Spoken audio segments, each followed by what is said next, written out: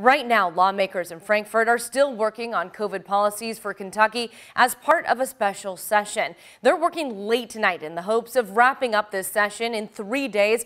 WHAS 11 political reporter Rachel Droz has been there for all of the action. Now, Rachel, bills are starting to be signed, but we've just learned others have been vetoed. Yeah, Kristen, this news coming in just minutes ago, the governor's office telling me that the governor has officially vetoed the education bill, which is Senate Bill 1, and the health care bill, which is Senate Bill 2. He has signed two bills, Senate Bill 3 and Senate Bill 5. Um, and right now, the Senate has just gone in to try to override those vetoes.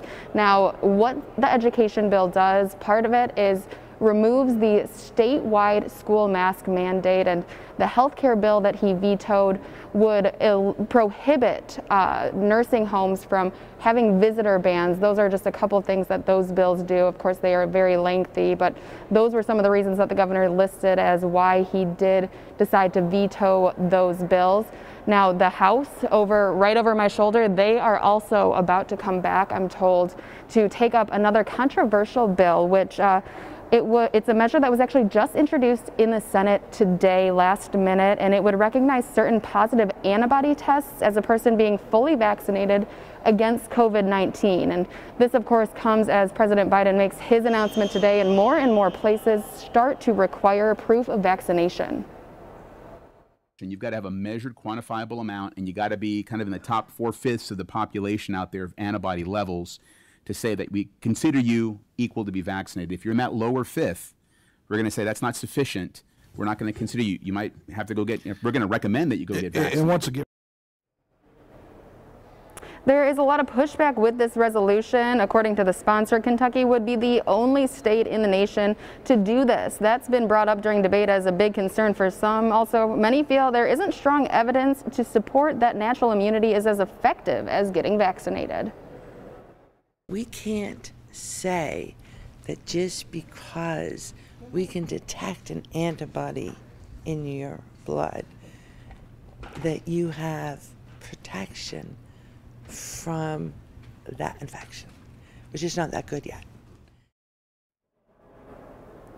And again, the House is set to get in right over my shoulder. And if we want to spin around the Senate, over here has just officially gone into that chamber. I'm told by uh, GOP leadership in the Senate that they are planning to take these override votes. So today is day three of special session. Lawmakers are trying to wrap up today, saying that even though there's no time limit on how long special sessions run, they want to make sure that they are quick and efficient because it does cost thousands, tens of thousands of dollars each day that lawmakers are here in this building. So that's why they are pushing to get this done in this three day stretch. That, of course, has also been a very contentious point during this session. Many people, even Republicans, are saying that they don't think that rushing through these bills, especially that education bill, is good for the general public. And for some, they say that it could be a life and death situation. For now, I'll be here for the rest of the evening until these lawmakers go home. Um, I'm told they'll be going home at midnight tonight. If they don't wrap up, they do intend to come back for a fourth day of session, of course, to get everything done here. So I'll keep you updated. Be sure to follow along on my Twitter account um, and the station Twitter account for the latest here under the dome. For now, live in Frankfort, Rachel Droz, WHAS 11 News.